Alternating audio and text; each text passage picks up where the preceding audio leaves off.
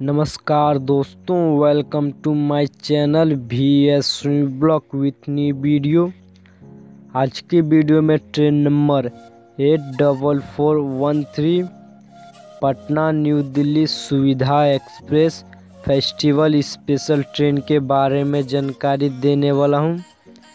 यह ट्रेन कब चलती है? कौन कौन से स्टेशनों पे रुकती है?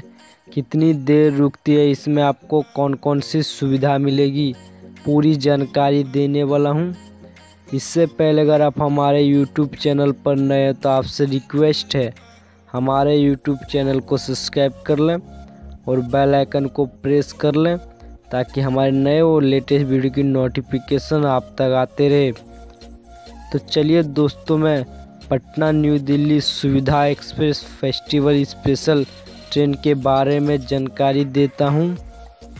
यह ट्रेन पटना जंक्शन से न्यू दिल्ली के बीच चलती है। यह ट्रेन पटना जंक्शन से दोपहर को 12 बजे खुलती है और आपको अगले दिन सुबह न्यू दिल्ली 5 बजे पहुंचाती है।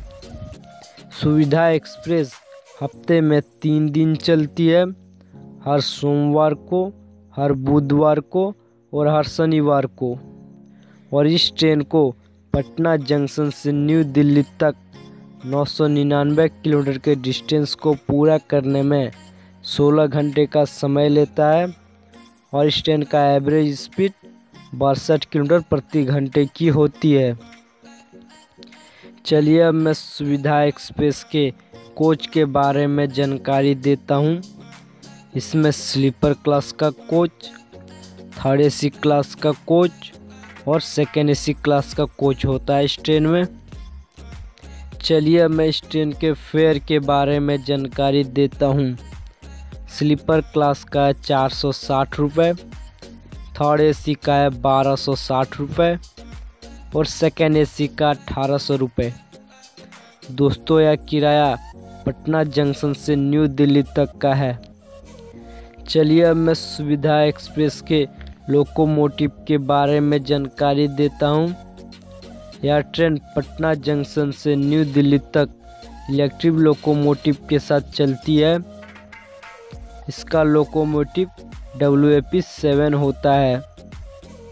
चलिए अब मैं सुविधा एक्सप्रेस के केटरिंग के बारे में जानकारी देता हूँ। इसमें आपको अभी किसी प्रकार की कैटरिंग फैसिलिटी नहीं मिलेगी। चलिए दोस्तों, मैं सुविधा एक्सप्रेस के रूट के बारे में जानकारी देता हूँ। यह ट्रेन कौन से रूट से होकर जाती है? जैसे कि आपको वीडियो की शुरुआत में बता दिया था, यह ट्रेन पटना जंक्शन से खुलती है दोपहर को 12 बजे। इसका पहला हॉल्ट आता है दानापुर, जहाँ पहुँचती दोपहर को बारह बजकर बीस मिनट पर। और बारह बजकर बाईस मिनट पर खुलती है ट्रेन, दो मिनट रुकती है। इसका दूसरा हॉल्ट आता है आरा जंक्शन, जहाँ पहुँचती है दोपहर को बारह बजकर पचास मिनट पर और बारह बजकर बावन मिनट पर खुलती है ट्रेन, दो मिनट रुकती है। इसका तीसरा हॉल्ट आता है बक्सर, जहाँ पहुँचती है दोपहर को दो बजे और दो बजकर दो मिनट पर खुलती है ट्रेन, दो मिनट रुकती है।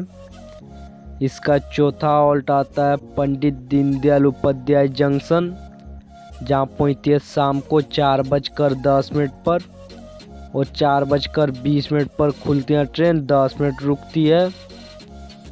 इसका पांचवा हॉल्ट आता है प्रयागराज जंक्शन, जहाँ पहुँचती है शाम को छः बजकर चालीस मिनट पर और छः बजकर पैंतालीस मिनट पर खुलती है ट्रेन, पाँच मिनट रुकती है।